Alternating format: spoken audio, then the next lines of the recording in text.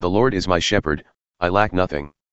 He makes me lie down in green pastures, he leads me beside quiet waters. He refreshes my soul. He guides me along the right paths for his name's sake. Even though I walk through the darkest valley, I will fear no evil, for you are with me, your rod and your staff, they comfort me. You prepare a table before me in the presence of my enemies. You anoint my head with oil, my cup overflows. Surely your goodness and love will follow me all the days of my life, and I will dwell in the house of the Lord forever. The earth is the Lord's, and everything in it, the world, and all who live in it. For he founded it on the seas and established it on the waters. Who may ascend the mountain of the Lord? Who may stand in his holy place? The one who has clean hands and a pure heart, who does not trust in an idol or swear by a false god.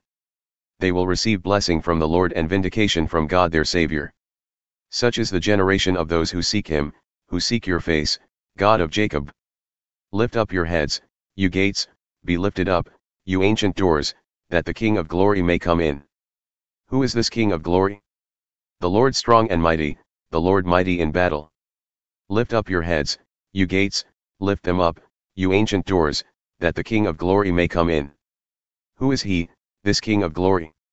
The Lord Almighty, he is the King of glory. In you, Lord my God, I put my trust. I trust in you, do not let me be put to shame, nor let my enemies triumph over me. No one who hopes in you will ever be put to shame, but shame will come on those who are treacherous without cause. Show me your ways, Lord, teach me your paths. Guide me in your truth and teach me, for you are God my Saviour, and my hope is in you all day long. Remember, Lord, your great mercy and love, for they are from of old.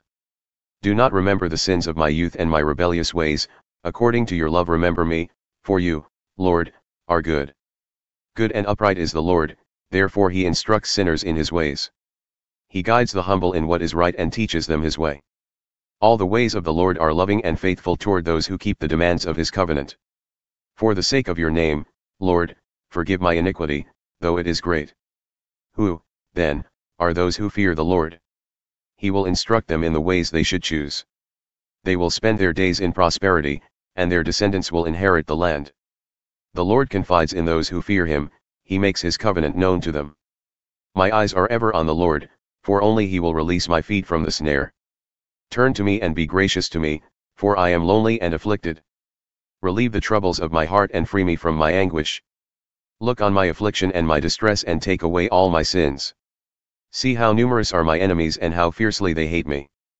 Guard my life and rescue me, do not let me be put to shame, for I take refuge in you. May integrity and uprightness protect me, because my hope, Lord, is in you. Deliver Israel, O God, from all their troubles.